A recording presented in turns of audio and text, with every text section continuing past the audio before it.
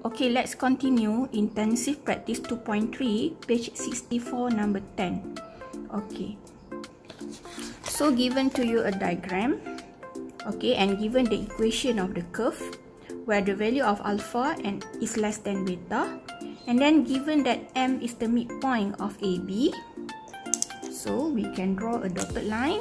Okay, so this is A and this is B. Right, so, so you can draw a dotted line. Okay, and here is the point M. Because stated M is the midpoint of AB. Okay, maknanya kita faham lah. Dekat sini, this line represent equation axis of symmetry. So, you need to find what is the x coordinate here. Okay, alright, next. Uh, they ask you to find, uh, they ask you to express, okay, the length in terms of the length of uh, OA, OC, OB, OM in terms of alpha or and beta. Okay, salah satu lah. Okay, so kita buat. Okay, pertama, bila you nampak, okay, you kena faham lah. Equation yang dia bagi ni, this equation is intercept form. Is in intercept form.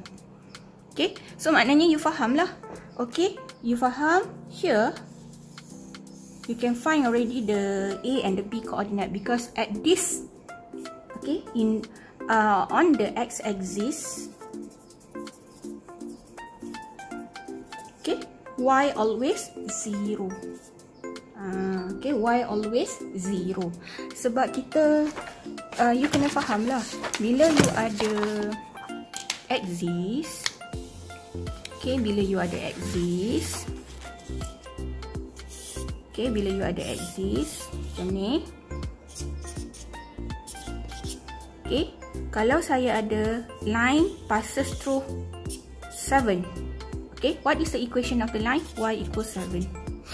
Okay, because the line cross y axis at 7. So the equation is y equals 7.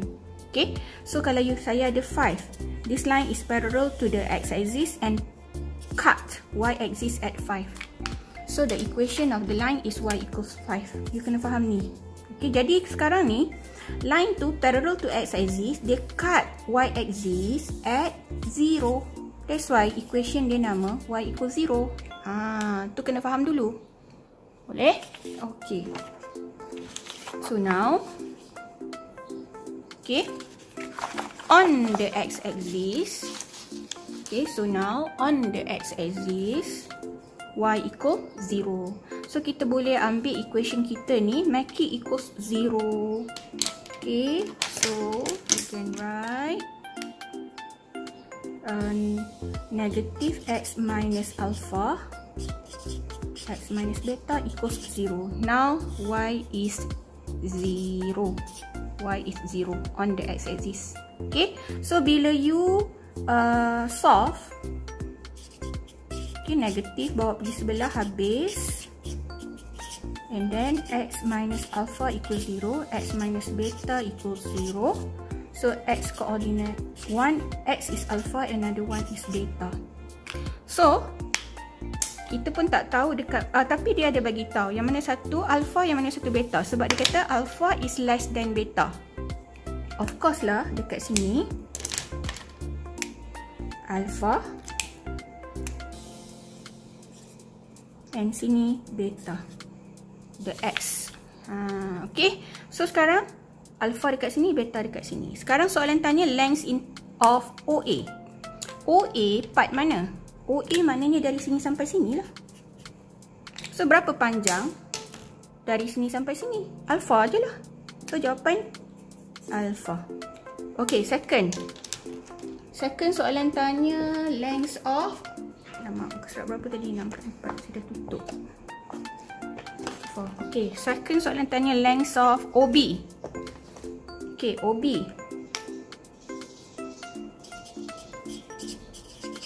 OB mana? OB dari mana ke mana? OB panjang dari sini. Punya warna lain. Yellow. Okay. OB maknanya ni B kan? So, OB maknanya semua ni. Berapa panjang dari sini sampai sini? Beta lah. So, OB is beta. Okay, next. Soalan tanya OC. Mana OC? Oh, OC yang ni. OC. C tu adalah kita punya dekat sini. Kena faham lah. Ini y-intercept of the curve. So, maknanya kalau you boleh dapat y-intercept of the curve, you bolehlah dapatkan OC. O pergi ke C tu berapa panjang. Okay, disebabkan kita faham ini adalah intercept form. Kan? You boleh convert pergi general form. Okay, daripada intercept form sebab saya nak cepat jadi saya dah expand dah. Okay, by expansion. You boleh convert intercept form. This is intercept form. Pergi ke general form. How? Okay, you write in the form of ax squared plus bx plus c. Okay, you need to expand. Okay, kita nak kena buat proses apa ni? Expansion daripada intercept form pergi ke general form, kita buat proses expansion. So, bila you expand, okay, you nampak ni, ha, macam saya kata, saya selalu pesan. Nampak ada dua punggung, nampak x squared tu ada satu punggung saja. Tapi x ni nampak ada dua punggung. Ha, negatif tu sama kan, common, keluarkan. Okay, so bila you buka bracket, dia jadi macam ni lah. Ha, so, punggung letak di luar. Kepala letak dekat sebelah dalam.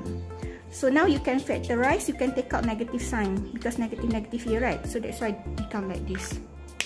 Okay, and then don't forget expand ni dengan negative sign dekat luar ni. Jangan lupa lah. Ha. Okay, so sekarang bila you ada intercept form, you faham yang belakang ni adalah apa? Y intercept. Right. So, Y-intercept kita adalah apa? Negatif alpha beta. Negatif alpha beta. Maknanya sekarang, okay, dekat sini, value Y dia adalah negatif alpha beta. In terms of alpha beta right now. So, panjang dari sini pergi ke sini adalah negatif alpha beta. So, AC adalah negatif alpha, OC, sorry. OC adalah negatif alpha beta. Okay, next. OM. Mana OM? OM tu, O pergi ke M. M ni benda apa? M ni axis of symmetry of the curve. Kan, macam mana you nak dapatkan axis of symmetry of the curve? Kan ke you belajar? You belajar. Ni line you kan? Sini O. Uh, sorry, sini alpha. Point A.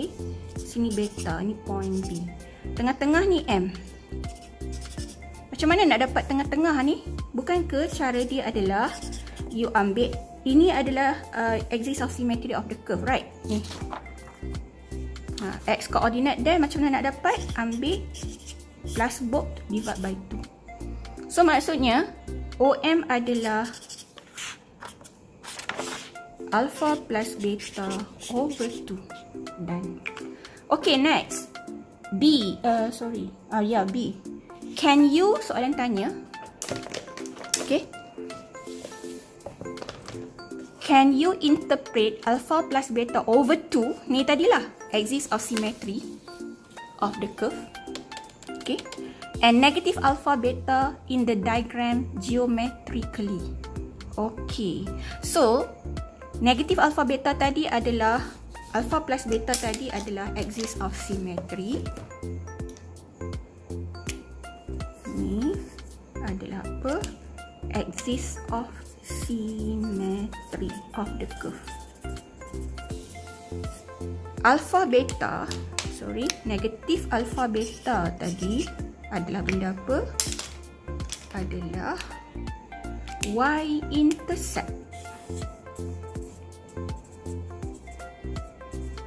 intercept. Okay, y intercept of the curve. So, at alpha plus beta you you boleh kata alpha plus beta is the x coordinate alpha plus beta over 2 is the x coordinate okay for the minimum point for the alamak for the minimum point of the graph Okay. Well, negative alpha beta, you boleh kata is the y-intercept of the graph. Okay. Done. Okay, settle.